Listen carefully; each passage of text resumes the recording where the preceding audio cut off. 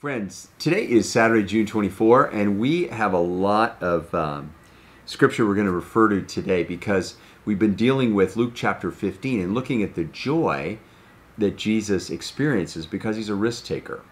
And he, he takes the great risk of associating with, uh, for, for a Messiah candidate, of associating with sinners and prostitutes and tax collectors, other people that are viewed as unholy uh, he sees holiness instead as, as connecting with and reorienting the lives of those who are alienated from God.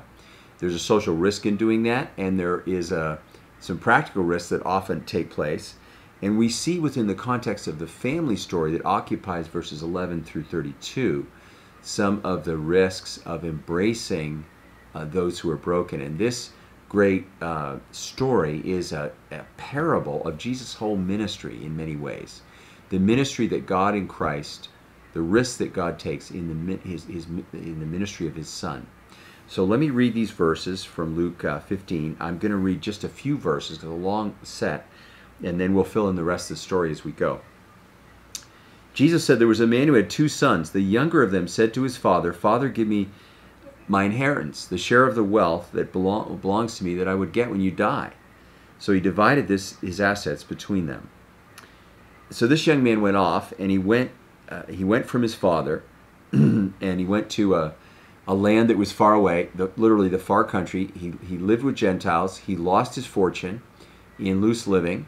Uh, he was starving because a famine came to that land and he decided he said things could would can't get any worse than this here. I might be able to survive if i went back to the family farm and became just a servant. I could never be accepted back into the family the shame i'd given them but i I could perhaps just work on the farm. Um, and so um, the story continues. This young man went off to, to return to his father, but while he was still far away, his father saw him and he was filled with compassion and he ran, he sprinted, literally, the word means, and he put his arms around his younger son and he kissed him. And the son said to the father, he'd been rehearsing this all the way home, Father, I've sinned against heaven and before you. I'm not worthy to be called your son. And the father said to his slaves, Quickly bring out a robe, the best one, put it on him, put a ring on his finger and sandals on his feet.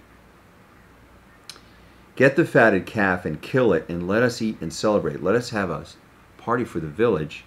Um, for this son of mine was dead and is alive. He was lost and is found. And they began to celebrate. Meanwhile, up on the rest of the farm was the older son, who was now in, in charge of the family property. That's important to know. Uh, in order to give the son his inheritance, the younger son, the father would have had to do something that was usually only done if a father became ill, and in that circumstance, you would fast forward to the point when he would pass on control of his property one third to his younger son, two thirds to his older son. The older son would be in charge. In this case, he sells one third and gives it to the younger son, which he then wastes in the far country. But he uh, gives over control of everything else to, to, to the older son. And um, yet, when the older son hears that the party is going on and the, the village is gathering, he refuses to go in to the tent where the celebration, the meal is happening and his father comes out and begins to plead with him. And interestingly, he says uh, to the older son, you know, the older son complains that he's welcomed the younger son back. He's showing this terrible sinner, this awful person who's humiliated the family and wished his father dead and wasted the family inheritance. He's, he's humiliating the family by welcoming him back into the fold. And uh, he complains that he's been never given a party and forgetting that the father's already given him. The father says, Everything I have is already yours. Won't you share in the joy of the finding? The finding of someone that we love, a member of our own family, who's come back to his senses in his relationship. And we don't know whether the older son goes in. So, this story is a beautiful story. I've told it at some length. Um, God takes risks to recover his children. Uh, the father took a huge risk in liquidating his property and giving it to the younger son. A land sold and wasted would never be recovered. It was a huge risk. He took a huge risk in giving control of, uh, of the rest of his property to the older son. God endows us with gifts and gives us things, and there's a risk in that. Sometimes we waste them or we use them in ways that don't reflect his values. Um, running to, to meet the younger son was a risk. It was actually a death risk because the younger son had got back uh, before the father got there, he would have been stoned to death for shaming his family. I mean, honoring your father and mother was not optional. It was a death offense to, to shame them publicly, as the younger son had done, wishing for his father's death. And so the villagers, if villagers see the son first, they're going to kill him. He's brought shame on the whole village. And so the father runs to embrace him to protect him from that shame. And he could have also been stoned. There is a, it's a risky act of sacrificial love that we see here. Um, going to plead with the older son is a risk. Another, he, he risks humiliation again, going out this time to put himself beneath his older son to plead with him, please come in and join this party to listen to the older son telling him off like you should never do with an elder person, particularly in a public way. Um, so um, the father is willing to do this because of the value of recovery. The younger son needs to recover from his lostness, his independence, his rebellion.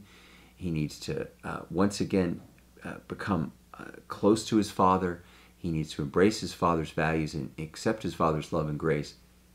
And the older son, too, has been living in pride, a stranger to the father's heart. And the father's willing to take a risk to appeal to him as well, so he too can begin, can begin to live in a way that's harmonious with God's values. And so you can know the joy of the finding. That was Jesus' appeal to the Pharisees and to us. Let's pray. Lord, we want to engage in your mission, the mission you did on your Father's behalf. It was dangerous and risky in many ways but there was such joy at the finding. Help us to be willing to welcome rebels home and to wake up those who are entitled sons or daughters so they can know the joy, both of them, when the lost return. And if there's any rebe- uh, rebellion or superiority living in us, take it away. We ask in Jesus' name. Amen.